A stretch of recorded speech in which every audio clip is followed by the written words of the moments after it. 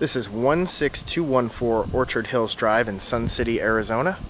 Three bedroom, two bath, with a diving pool, enclosed Arizona room, mature landscaping in the back as you can see, move in ready house, great kitchen, tile in all the right places, uh, extended garage, uh, two car garage, close to Bell Road, the 101, rec centers. If you have any questions or would like to see this property, please feel free to give me a call.